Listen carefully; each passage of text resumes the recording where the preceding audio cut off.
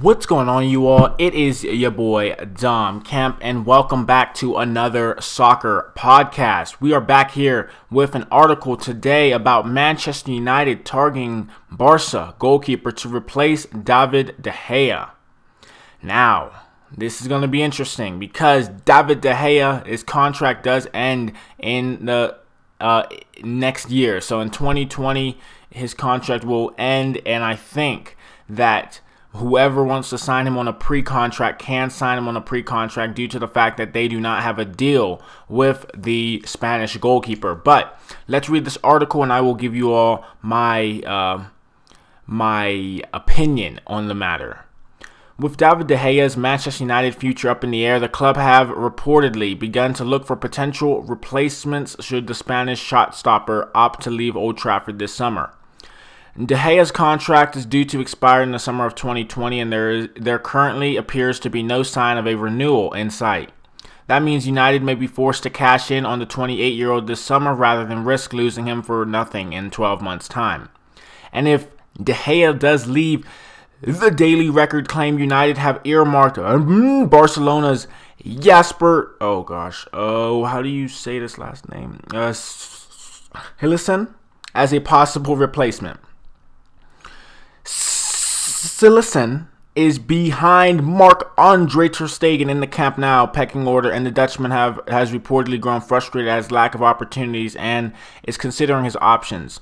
Barca apparently value the man they signed from Ajax in 2016 at approximately 25 million, and he has also been linked with Benfica and Juventus in the recent days. And if the 30-year-old does leave, the Spanish champions have been linked with Ajax's Andre Onana Venezuelan starlet Wouter Harnez, and now Montpellier's Benjamin Lecomte to replace him. So many crazy names. I'm sorry, you are, but that is just how it ends up turning out. Um, yeah. So it's one of those things. If if you're going if you're going to get value out of David De Gea, yeah, you you want to cash in this season because next season he can go for free, kind of like how Ander Herrera left Manchester and going to PSG. So it's just one of those things that we'll have to find out. I'm not really excited about this mainly because he here. If you think about David De Gea, he is a top class goalkeeper. The problem is he's just frustrated with the club and management and things of that sort.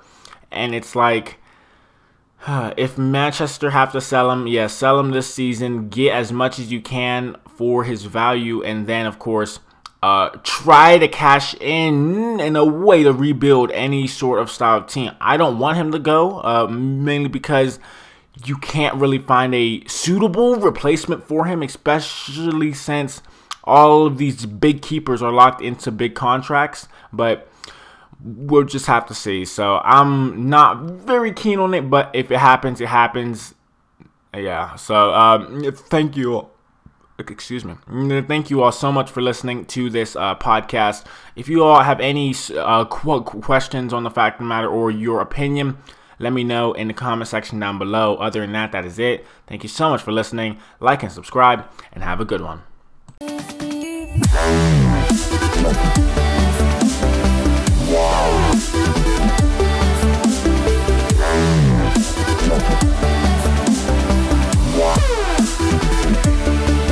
Thank